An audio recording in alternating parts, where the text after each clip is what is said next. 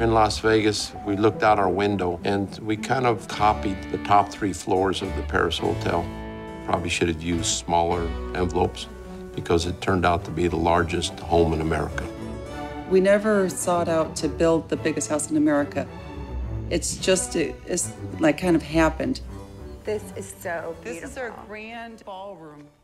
A new film opening this weekend chronicles one wealthy Orlando's family quest to build a 90,000 square foot mansion. Folks, that is bigger than the White House, and all of this in the middle of the economic downturn. The movie is called The Queen of Versailles, and the filmmaker Lauren Greenfield. She's right here beside me on off duty. Hi, Lauren. Hi. Your film is gaining quite a bit of buzz. I mean, you already won an award at Sundance, the film festival, for Best Directing for a documentary.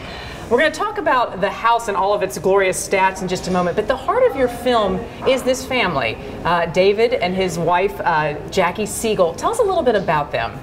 Well, I have been, I'm a photographer and I've been photographing wealth and consumerism for a number of years. And I actually met Jackie through her shopping. She's a passionate shopper. She, right. in the height of the boom, she would spend up to a million dollars a year.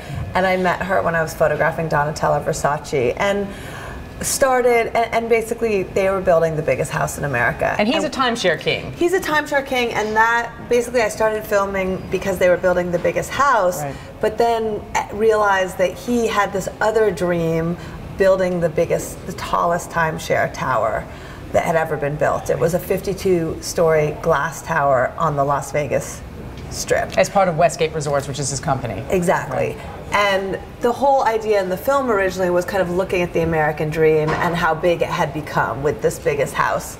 And then when I saw that they were building this tower, that became an interesting part too, because the tower cost over $600 million to build. And after the economic crisis affected the timeshare business, the tower proved to be the overreach.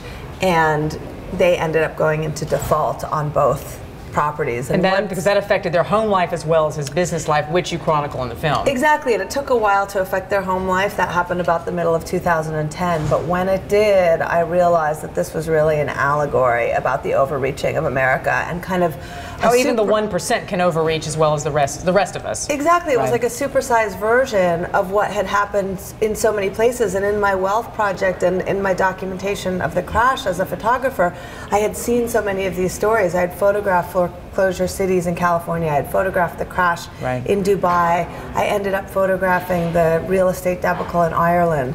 So there was something strangely familiar and yet of epic proportion to the Siegel story. A lot of the story takes place in their current home, which is not small. It is 26,000 square feet as they struggle to build this 90,000 square foot mansion. David says he's building it because he can. I mean, that is his answer that he gives you in the film. Let's just tick off. I mean, so the, the, the, the house, if it were finished, would have 10 kitchens, one for sushi making, a 6,000 square foot master bedroom, 13 bedrooms, an 80 foot waterfall, grotto with three hot tubs. Stop me at some point. You know, roller rink. I mean, these these were all in the plans for this home. How far did you say did, bowling alley? I think bowl. I did not say bowling alley. See, we had to get in the bowling alley. How far did they get? How finished is the home at this point? Um, the home is the same state as we see in the film, which is basically a shell. Now let's talk about the couple themselves. Um, you must have become very close to them while you were filming this. How was that relationship? Were you closer to the wife? Were you closer to the husband? Both of them? Jackie was always the heart of the story for me. That's the person I met first, and she was really kind of the access into their whole world. And I ended up calling it the Queen of Versailles because I think Jackie really is the heart of the story.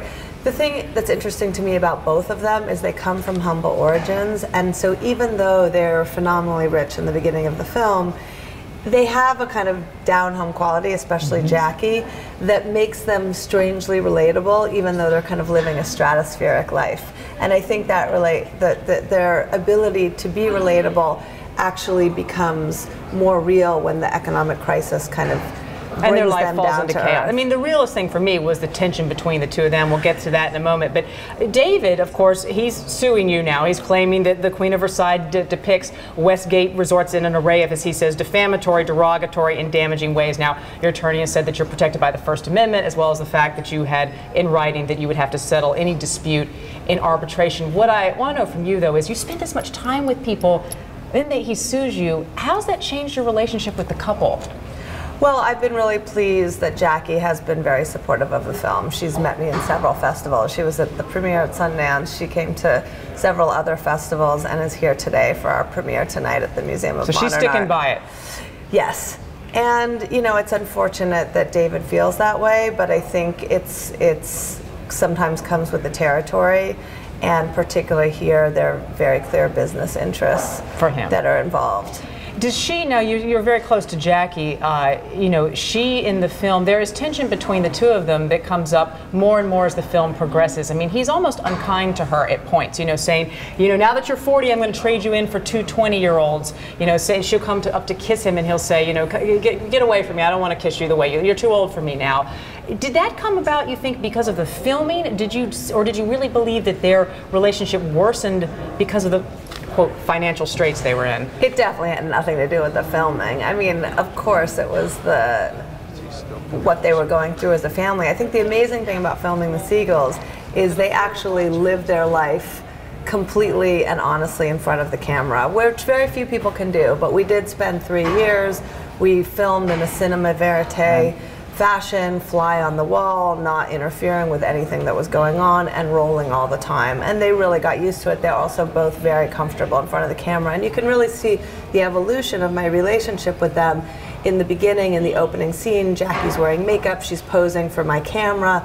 By the end, no makeup, barefoot, and I'm even filming Right. uh, dermatological treatment that I saw that. The, right, right. The Botox here. Yeah. So they and and David too, and I'm so grateful for his candor during this whole process. I think the thing that was extraordinary about the Siegels is they signed on when the going was good, but they stayed on and continued to share their lives with equal candor, even more candor as things got tough. So what's your bet? Do you think that they, I mean, if they could end up building the house, would they try and keep this house, you think? Well, David wants to finish the house. Jackie now says the children will be grown by the time they finish it, and she's just as soon stay in their current house. Well, it's a, it's a, I, I watched it. Um, I couldn't stop watching it. It's called The Queen of Versailles. And some of the most poignant interviews actually come with some of the staffers in the film as well. I thought the nanny and the driver and so forth. But I'll leave that for people to go see the film. Thanks so much for being with us, Lauren Greenfield. Thank you.